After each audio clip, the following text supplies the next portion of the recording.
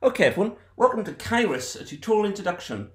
What I'm going to do is show you how we can use CAIRIS at the earliest stages of software design. There's not a lot of knowledge about how to actually address security in the earliest stages of, of design, but we've been doing some research in this space for a few years, and we've encapsulated research on how to do that into CAIRIS itself. One of the key themes of this tutorial and for CAIRIS in general is that software isn't sec secure if it's not usable. And this is something that needs to be done at the early stages of, of, design too. So this is really a tutorial approach on how to do that as much as it is on using CAIRIS. So what we're going to give you is a quick motivation about why we should care, talk about some of the key topics around security and just enough uh, security, and then we're going to focus a bit on requirements and how risk analysis can help us outline initial de design, get at some security requirements and some potential design elements. Um, now this meme here pretty much summarizes the state of the nation when it comes to building security into product uh, design. Despite the rhetoric and even uh, legislation, security is typically bolted onto a design of any product or service. No one really wants to intentionally make this an afterthought, but people are going to focus on innovation, which means that building security in is in most cases just a platitude. And part of the problem is that no one really knows what it looks like to build security into the design of a software or, or, or product. Um, if security was built in, what we should have is some means of of carrying out or at least demonstrating the design assurance. And the need for that assurance should, be should be self-evident. If we have a product that we say is secure, it's because it conforms to some form of specification. And that's a basis of assurance. And that's not really shocking to anyone that comes from a system engineering or also safety engineering background. Um, but the thing is, even that doesn't say much about where the specification itself actually came from and the assumptions that went into the spec. Now, in the hardware engineering uh, disciplines, the thing that's being assured is tangible. So a car, a bridge, etc., you can actually see it. Um, not so much for, for, for, software. I mean, as Frederick Brooks Jr. said, you know, software is an invisible castle built in the air for, for from air. And it's easy to forget that assurance is needed for the work that goes into the specifications. So even in classic software engineering, there's been a strong focus on specification and modelling, but not so much on where these specs and models actually come from.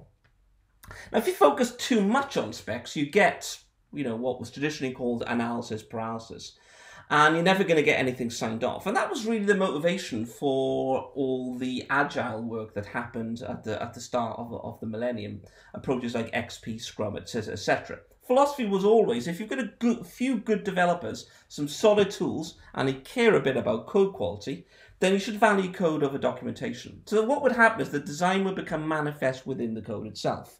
Um, the problem is, though, number one, code is too granular to spot all design problems, particularly if the code base is big. Number two, you know, way back in 2000, code, rather software, was only deployed to a limited number of platforms, but, but software is now everywhere. You've got a mixture of old and new, and software isn't just an app, it could be infrastructure, operating systems, even application frameworks. And they're deployed from everything to desktops, to sensors, to even MRIs. Um, you might also have design in configuration and design in other artifacts too. The third problem is that not everyone wants to or can actually re re read code. So if all your design is in the code, you're going to have problems when it comes to providing assurance. Um, now, in parallel to all this, there's been this growing recognition that um, for security, or for secure software, security is necessary but, but, but, but, but not sufficient. And security is meaningless if it doesn't fit the context of use. And we don't know what that is without understanding who our users are, what their goals are, what tasks they carry out, and what context where technology is used.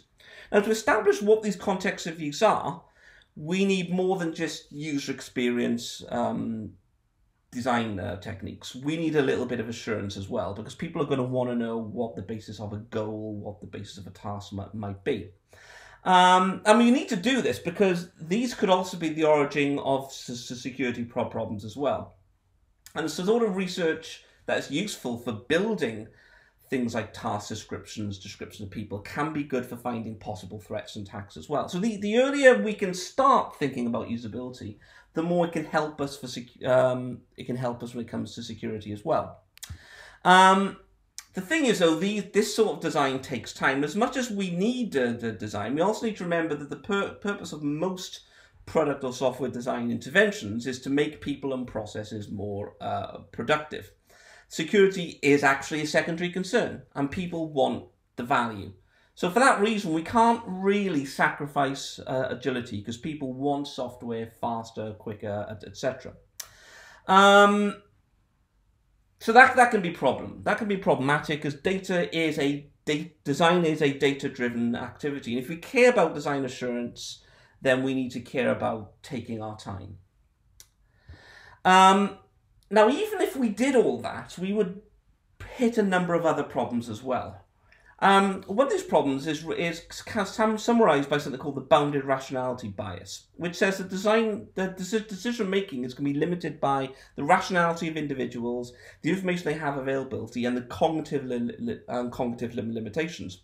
Now, what this means in terms of design is the early stage design models are only going to get so big. They're only going to get so uh, non non trivial, and sooner or later, when designs start to get big and messy, people are going to fall back on on stereotypes because they don't have the information limitations time to do anything anything otherwise. And at this point, people might say quite rationally, well, what's the whole point? Why don't I just go go, go back to code? Because at least if I'm coding, I'm making sense of, of the design. So what that means is that we actually need tools that are going to support the elicitation analysis and management of design models given these uh, the, these limitations. And we can't validate a design if we can't reason about the analysis that goes into the decision itself. Um, now, even if we had these tools, what would a tool actually look like? Because uh, the thing is, practitioners have never really had the sort of tools that they would need. Uh, and it's hard finding the basis of a tool because of this whole idea that the cobbler's children have, have, have, have no shoes. And what we mean by that is that if you look at the tools that people use to come up with software re- requirements, the most common tools out there are things like word processors and Excel. Um, so state of the art hasn't really moved on that much. If we think about security, we typically think in terms of risk management tools. Uh, if you think about HCI, it's traditionally a craft-based uh, discipline, so we fall back on whiteboards, post-it notes, and perhaps tools for doing in interface um, design. Now, that's not actually a problem in itself, um, but it but it kind of raised the question that if we really want to do security by design, if we really care about design assurance and, and, and models, what is the solution going to be? Um, so one idea is to think back to these problems that led to analysis uh, paralysis that motivated Agile in the first place. Because the perception was that collecting, modeling, and reasoning about models at the early stage of design took time. But what if we cut the time it took to actually specify and analyze the data co- uh, collected? Um, what if we could get design insights as the data is collected? What if we could draw new insights as data is added and make it easy for other people to collaborate and feedback sooner? So the solution is some form of collaborative tool support. And that was really the motivation for CAIRIS, uh, which stands for Computer-Aided Integration of Requirements Information Security. Now what CAIRIS is, is a software as a service platform for building security and usability into your software. So the purpose of this tutorial is to give you just enough CAIRIS or just enough background on CAIRIS and its principles so you can start doing some tool supported early early stage de design. Now, CAIRIS itself is released under an Apache software license. Code is free to use and extend. Good way of finding out how CAIRIS works is, is not just going through the tutorials and the books and the lead reading I'll talk about at the end, but also just to dig into the code to figure out what's going on. Um, if you do have questions, problems, requests about CAIRIS, it's a good idea to always raise an issue in GitHub in the CAIRIS repository itself. Um, so what I'm going to cover in, in, this tutorial are some of the key principles behind CAIRIS and talk a little bit about installation and deployment options. I want to talk about how we can develop what I call assured uh, personas and tasks and help you start modeling the context of use that these guys live in. We'll talk a bit about modeling requirements, risks, and countermeasures and how you can go from these UX artifacts to some form of very early stage uh, design. I'll talk a little bit about documentation and in, in, interoperability so you can see what the outputs are. And I'm going to finish off by talking a little bit about how we've used CAIRIS in the real world. Um, these are a few things that I'm not going to cover. I'm not going to talk too much about what these things are, other than other than to say that in the CAIRIS documentation, you can find all sorts of information on, on these topics. And it may well be the topic of a future tutorial.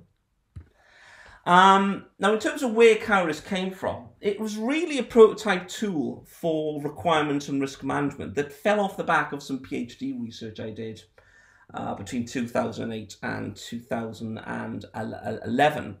And we designed a prototype tool to support um, requirements and risk management for a course that we, we were running at, at Oxford. And when I started developing the tool, I was kind of a bit surprised that people were taking so long to build something. So I said, I'll just knock something up. How long could it possibly take? And I guess the fact it's taken 10 years can tell you something a little bit about um, how complex a problem tool support for this form of design actually is. Um, we first presented a prototype of this tool back at the RE conference in uh, in 2009, and we released the code itself under an open source license in 2000 and, um, in in 2012, not 2002 as it says on the slides. Um, in recent years, what's happened? CAIRIS has evolved from a desktop application, which was a little bit of a pig to install, to a cloud platform uh, where the installation process and the UI is is a little, little bit smoother. And over the years, although the core algorithms of CAIRIS haven't changed uh, the, the, the, the, that, that much. Um, the core architecture hasn't changed significantly. A lot of the technology has. And what's happened is that over the years, as more and more people have used it, the stability has actually improved significantly. Um, so there are a number of key principles that are useful to understand if you're going to use CAIRIS. Um, the first principle is this idea of environment as a first, first, class object. So when you build some software, you build it for some sort of context of use. Um, so one of the principles of CAIRIS is that environments are things that you create, and most objects will have environment-specific properties. And we'll see an example of that when we talk about um, um, um assets and the idea that assets could have some value in an environment and some different in value in another environment. If we could reason about this, we might find some interesting things that we might not otherwise consider if we just thought of a, of a system um, being developed for a sunny day environment. Um, the second principle is that you don't really have to do things in any particular order. Now, that's not entirely correct because some things do need to be specified uh, before others. So anything that's environment specific means that you need to specify environments first. But other than that, you can start adding acids add, and, add, and add other things and then add more acids. And as you modify an acid, you don't have to go and tweak all the things that necessarily depend on it. The innovation is how everything is linked, not in the order in, in which you add data. Um, the third principle is that the more you add to CAIRIS, the, the more the, the, the more value you get. So CAIRIS will visualize things as, as it goes along. It will validate things as it as it goes along. And what this will mean is it'll help you make sense of the model and overcome this bounded rationality bias I talked about. Finally, CAIRIS was designed to be in, in, in interoperable.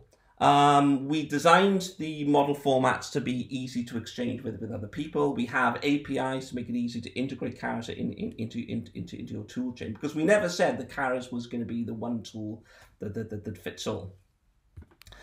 Uh, now, in terms of installing CAIRIS, uh, you've got two, two options. One is to use some pre-built Docker, the, the, the, Docker containers. So you can just download and run these on any machine that'll, that'll run Docker. We have a live demo on demo.cairis.org. That's actually based on, on, on, on, Docker. So if you want to go to GitHub, have a look at how these things are, are created, because Docker containers are built every time code is pushed to the master branch of the CAIRIS uh, repository. You can have a look at the Docker file and basically build your own containers for your own environment. The second option is what I call a, a, a source ins installation, which is getting CAIRIS directly for, uh, from the sources and just installing it on your on your own, um, typically Linux environment. Now this used to be something of a pain, but we now have a quick install script such that if you um, have a something like an Ubuntu VM, you can literally install um, and all its dependencies and configure it in just a single line, um, which is great. Um, for more information on, on, installation, have a look at the documentation. Now, if you're going to deploy CAIRIS, there are a number of, of typical deployments. So if, you, if you're de deploying to a, to a cloud, your deployment diagram might look a little bit like this. So you have your laptop and a web browser. the CAIRIS UI application is literally just some collection of JavaScript, CSS, and, and HTML that will be downloaded when you talk to your server.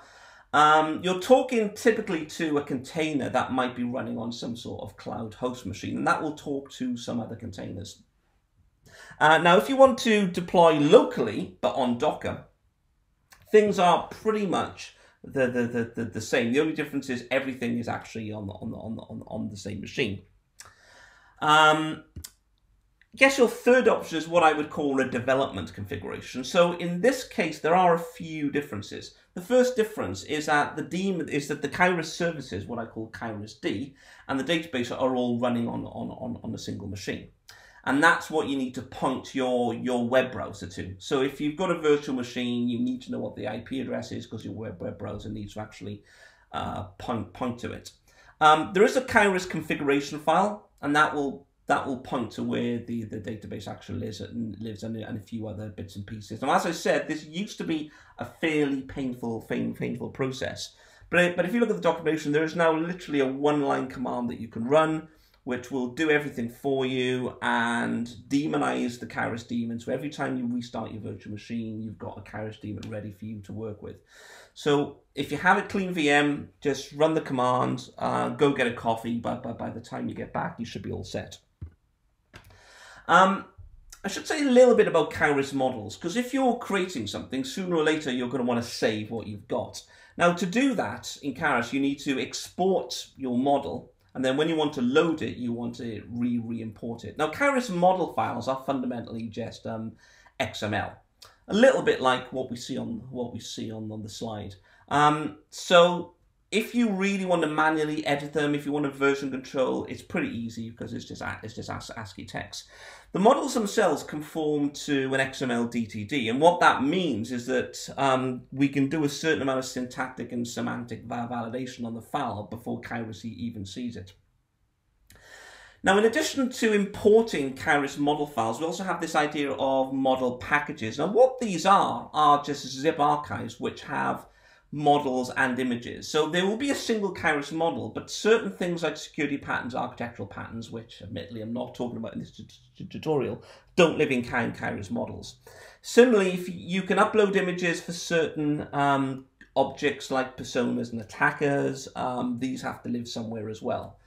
Um, so, uh, so a .cairis file is effectively a zip archive with all, all of these different things. Now, when you import a CAIRIS model, models are stored in individual um, databases.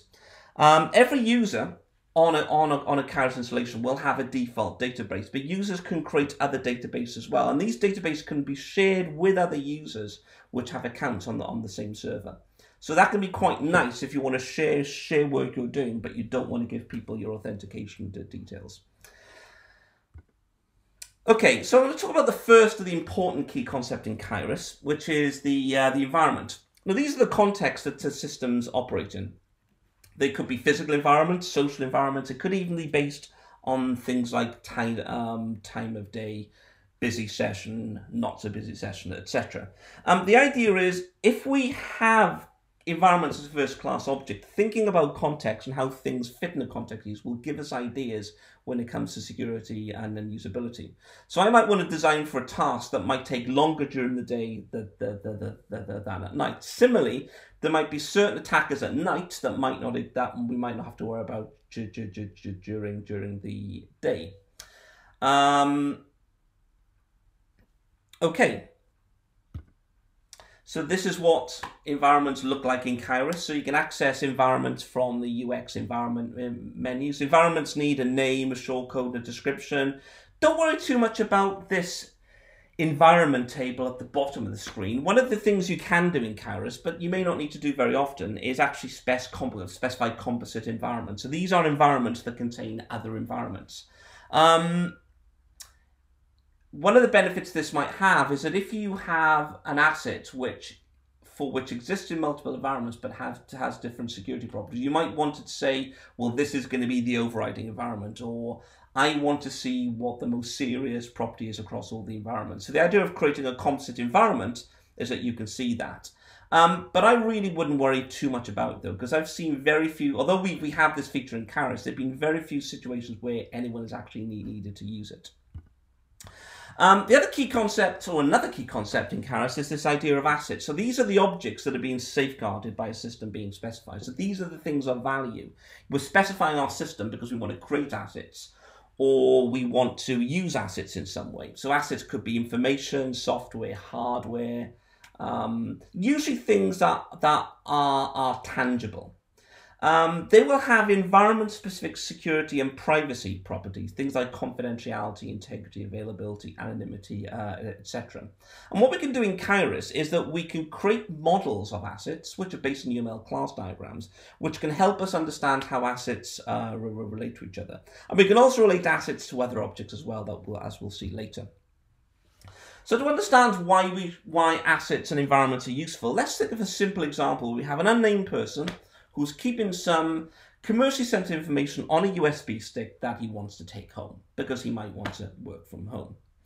Um, this guy has attended a security awareness seminar and he's now hypersensitive about the information he has on the USB stick. And he says, well, the confidentiality of what's on here is really important. And I'm, I'm responsible, so accountability is also very important as well. Now, if it's 6 p.m. and he's running a train, all he's thinking about is, I really need the information on, on this USB stick. So his focus is going to be on productivity. Productivity, usability, when we care about that, we usually care about availability uh, uh, as a property. Now, once he's finished his work and he's on the way and he's on the on the way on the way back to the office on Monday, um, he might care a bit about productivity, but not but not so much. But if there was an opportunist opportunistic attacker, he or she might might care about the availability of, of, of that information as well.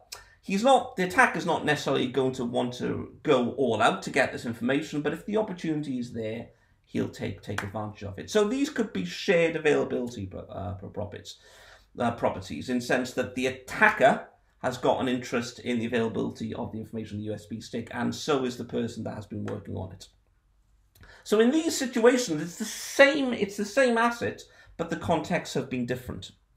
Um, so we define assets in the risk um, assets menu. Um, assets need a name, a short code, and a type. So the, the types are particularly important if we're doing data flow diagrams because entities and data stores are different types of assets.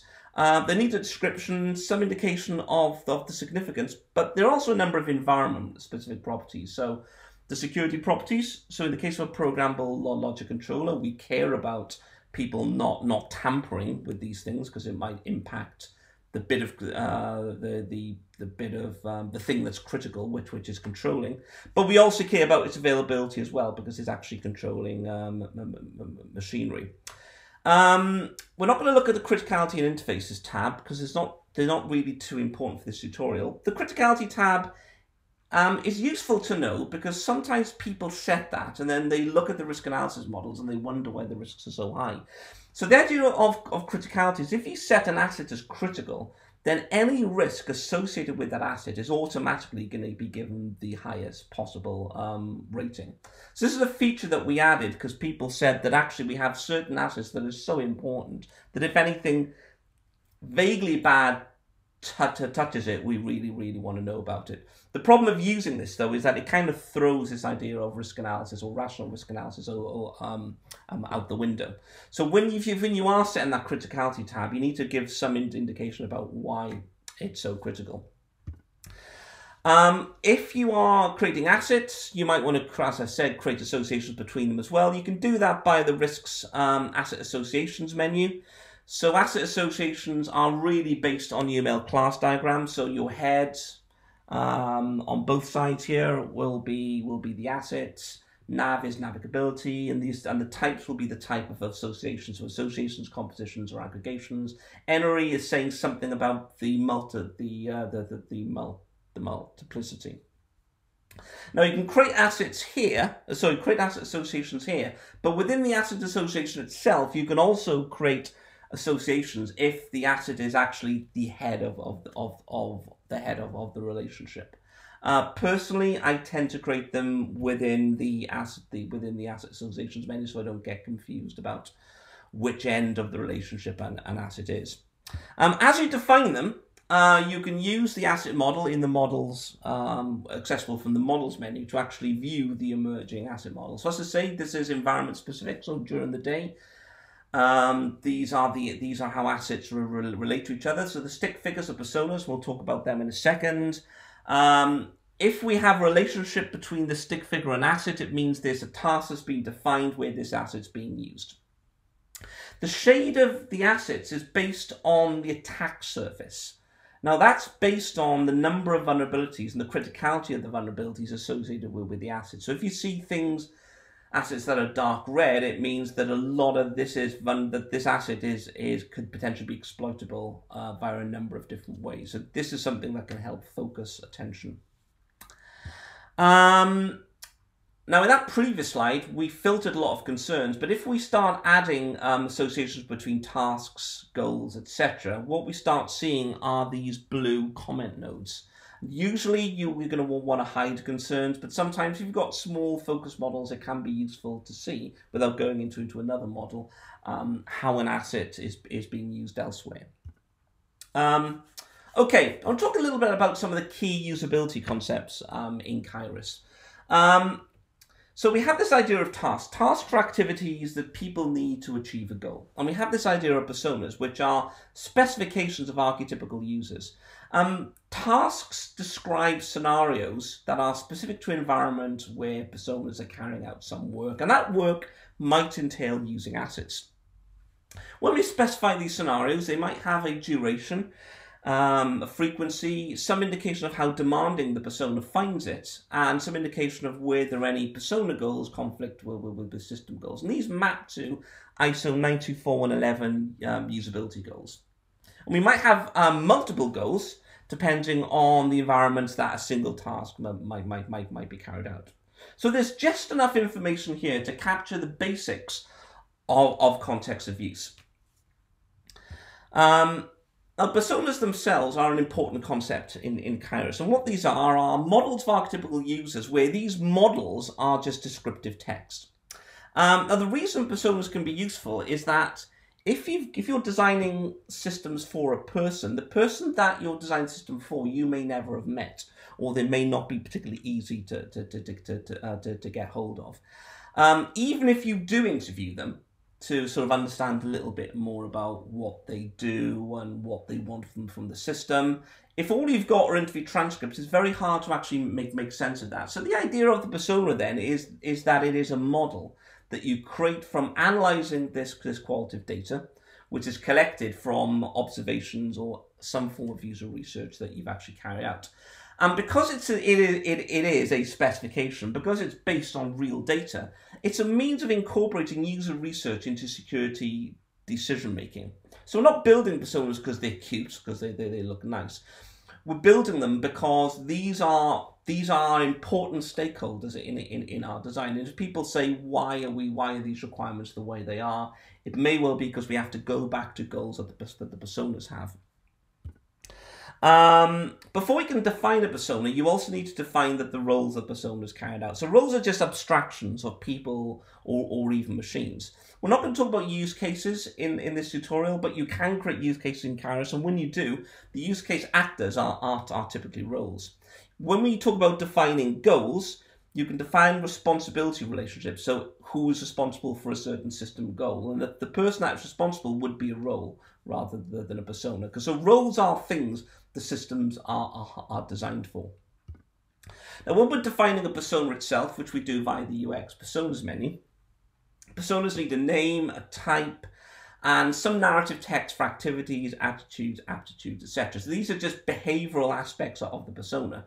There are also a few environment-specific properties. So if the if the if the persona directly uses the, the system being being designed, you would tick the direct user box, and also indicate the roles specific to to environment. And if there's something if there's no narrative information which is, which is environment specific, you would put this here. But the thing about personas is you don't just type. You don't just type the, the, the them up.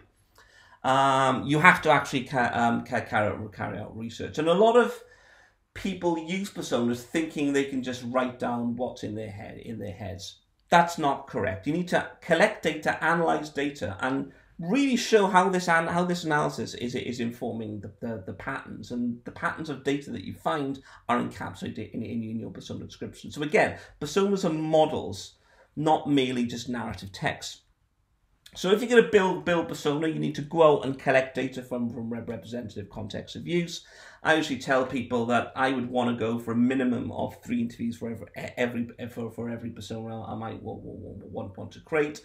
I might interview people, observe people, but sooner or later I'm going to have a pile of transcripts or a pile of notes. I need to turn this in, in, in, into a persona. So what do I do? Well, what I want to do is code this data to try and find what we call factoids, statements which are true or false.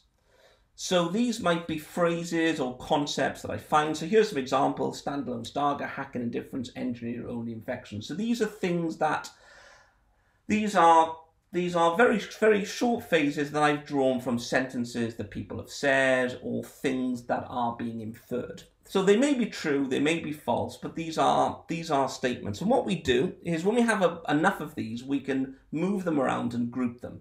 So these particular factoids group under this hacking unlikely uh, category. And I might be able to want, want to write some text about this. So here's some example of some narrative that really puts in context this this affinity diagram, or rather this part of an affinity diagram. Um, so we, we have some verbatim comments here. The only way the SCADA will get affected is by Tech plugging virus infected laptop in, into it. So I actually got that particular verbatim comment from from from when, when the transcripts related to to the factoids. Um, the problem with personas for security, though, is that the people that tend to create personas can internalize them in ways that other people can't. Um, and so what often happens is the people that are using the personas are the same people that, that, that actually uh, could, uh, could create them. And other people that use them don't use them in the same way.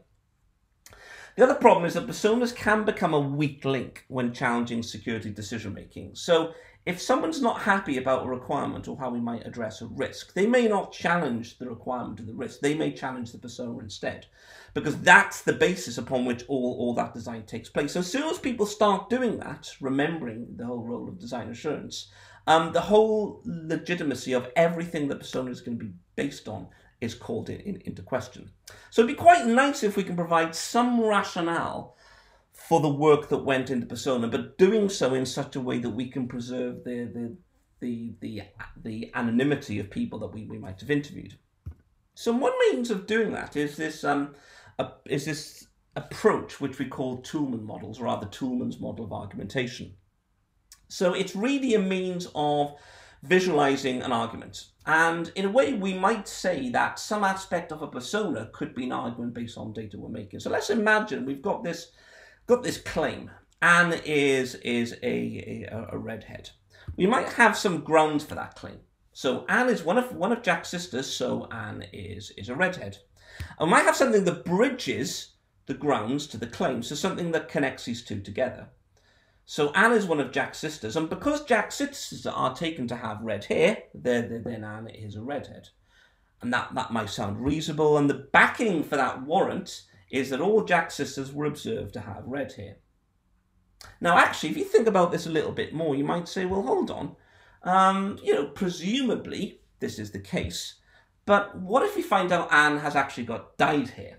And, and that would be uh, a, a, rebuttal to, to, to, to, the argument. So this is really a way of, vis- of very quickly visualizing a claim.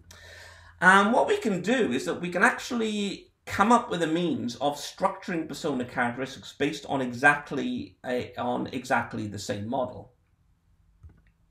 Um, and this is what it looks like. So we can take our original grouping of factoids, say the category name is a characteristic, uh, the ground is that the grounds are hacking indifference engine infection, the standalone uh, SCADA is our warrant, and we can say something that qualifies um, our confidence in this characteristic. And we can also further code that characteristic based on the type of behavioral uh, variable. Um, now in CAIRIS, these factoids are called document document uh, ref, references. Um, so it might have a name. The external document is usually some sort of source that the factoid has, has actually come from. So in this case, the external document is from some form of qualitative data analysis, hence the name GT concept. But it could equally be an interview transcript A. Uh, we like to name the contributors so we know who actually came up with it in case we have questions. And the excerpt is the bit of text that the hacking indifference code actually came from. Um, so it could actually be some a few verbatim sentences from, from the source document itself so that someone can look at that at that excerpt of text and basically look at the factoid and say, well, that kind of makes sense. Um, now, the persona characteristic itself is our argument. We'll have a definition. It'll be specific to a persona, an environment variable, and we'll have a modal qualifier. And you can, as you can see, we can specify the grounds, warrant, and, and if necessary, um, the, the, the rebuttal. Don't worry too much about the GRL elements. That'll be the subject of another tutorial. Um, once we've added that, we can use the um, the personas model in CAIRIS to actually visualize the argumentation model itself. Um, the nice thing about this is that it's a quick way of spotting fallacies in decision making. So if we find that the text of the grounds of the warrant look a little bit unusual, it might be that people are deliberately fitting the um, the data to fit some claim that's actually in the in the back of their head. So rather than actually analyzing the data and then coming up with some with some characteristic on that basis, they might just come up with a characteristic first and then try and um, um, um, fit the grounds around it, which is a little bit overly subjective. Once we have these characteristics, what we can do then is actually create bit, bits of, of persona text. So in this case, we have our uh, the text that we, we had earlier, which we've written on the basis of the persona characteristic. Um, now, what we have in the CAIRIS, CAIRIS repository is something called the Persona Helper. So it's not strictly part of CAIRIS, but it's a Chrome extension that we created to make it easy to draw factoids from online data sources. Um, so before you use it, you need to right-click on the on the sort of eye icon to connect to a CAIRIS server and set the author of an of an external source. But once, once we've done that, if we click, if we highlight some text and click on that button, we can actually add a factoid. And when we click on OK, that will create a new document reference in CAIRIS, which will look a, a, a little bit like that. Um, and not much more to say about that. The other nice thing about CAIRIS is because of this whole interoperability thing that we think is important with CAIRIS, it's we make it possible for you to export document references from CAIRIS into Trello. Now, Trello is really a project management tool, but its design is such that you can actually do online affinity diagramming because of the way Trello deals with lists and cards, which are key concepts in Trello, is a bit like um, affinity groups and, and, and factoids. So what we can do is actually export um, a whole bunch of our document references into Trello and actually group these. And what we might get is, is, is, is something a little bit like this, where we have um, our groups that we, we've drawn, and the cards are our factoids. And if we actually add a little bit more information, so if we annotate each of these cards to indicate whether it's a ground, which is green, or a warrant, which is blue, and we change the name of the list, so we have this colon attitudes or colon aptitudes, where the thing after the colon is the name of behavioral variable. What we can do is we can then import this board into CAIRIS and automatically generate our um, our uh, our persona characteristics. So something like so that example we talked about would lead to this being uh, generated. Um, few words of warning though. If you're going to export document references from CAIRIS into Trello, every time you do that, it's going to create a new board in the account of the person that's doing the export. So if you export, if you if you specify a board name which already exists, it's going to get overwritten. However, once that board exists in Trello itself, you can share that board with, with whoever you want. So you can do online affinity diagramming with people who are not just in the same room, but it could be in different cities, different different countries, uh, etc. So it makes affinity diagramming something that you can do uh, remotely rather than just in the same room with, with, with posted notes on a wall. I to talk a little bit about tasks. Um, so these are the activities required to achieve a system goal. It's effectively the work that people need to do. And uh, as I mentioned earlier, these are models as environment-specific scenarios, but they're categorized by personas and usability attributes.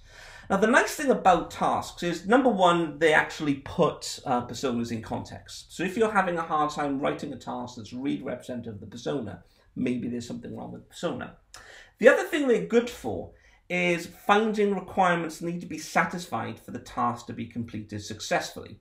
So you may want to run a workshop with stakeholders where you talk about how your personas do tasks and you get ideas about how the tasks should, uh, what needs to be done for the task to be completed. And once you've done that, you can then ask people, okay, so what does our system need to do in, in order for this, to, for, for this task to happen? So requirements can be elicited on a bottom-up basis with these tasks. Um, as we'll see, tasks can be associated with, with assets, and we won't talk about it in this tutorial, but they can be associated with the use cases as well. Um, so this is what, what a task looks like. You can create them from the UX tasks tasks menu. So they need a name, a shortcode, an author, an objective. But most of the properties of a task are going to be environment specific. So there's a narrative, which is our scenario. Um, we have also got um, the participants and this will be categorized by name, duration, which might be minutes, hours, etc., frequency, which could be daily, weekly, uh, etc., uh, demands and goal conflict, which would be low, medium, or, or, high. Now, in addition to that, we can say something about the consequence of the task, the benefits of, of, of the task, and uh, the, and the task concerns. But I'm going to talk a little bit about um, task task evaluation. So because we're entering information about personas, duration, frequency, demands, and goal conflict, we can do a little bit of a sort of high level evaluation. Now, if we think about what usability is, um, usability is this extent to which a product can be used by specific users to achieve goals regarding effectiveness, efficiency, and satisfaction in the context of use. Um, now, the values that we use in CAIRIS for duration, frequency, demands, goal conflicts map onto these ISO 924 components quite nicely.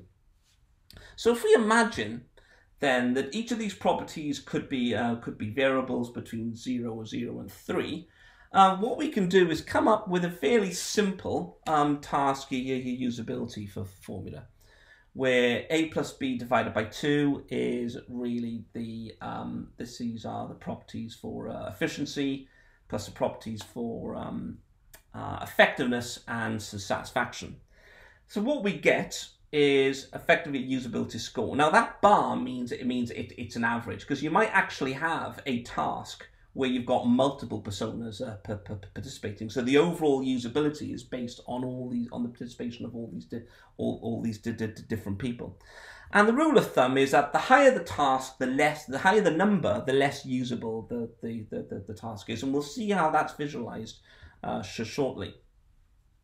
Now, what we would do is that once we once we've created a, a task, a, a, scenario, we would then say, okay, so here's our scenario. So how how long does this take? How frequently would this be carried out?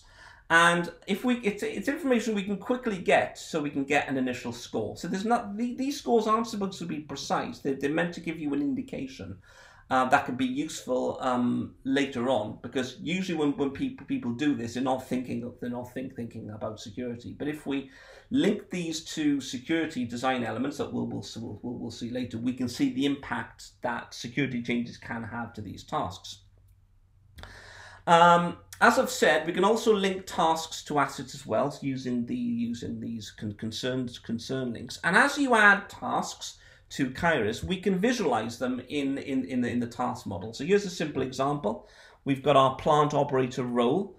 Uh, that's, a, that's an abstraction of our Rick persona, and Rick participates in this broken instrument alarm task. You can see that it, it's shaded blue, so that shade is based, that shading is based on the on the usability score, and you can see that it's linked to this STCS uh, um, asset. So that's our concern link. And now as you start adding more information, we start adding risks, you can actually start seeing these red ellipses. So these red ellipses re represent um, misuse cases for, for risks. You can see the attacker that participates in that. And if we've got assets that are both uh, being threatened or could be exploited and they're used by task, we can visualize that on the, on, the, on, on, on the task model. So I've used these in, in workshops just to quickly go through the implications of things that people care about with with with known security problems just to get people thinking about the implications a risk might actually have on a task. Uh, we've, we've got risk models that do that as well, but risk models can get quite messy. These tasks have comparatively fewer um, model model elements on them.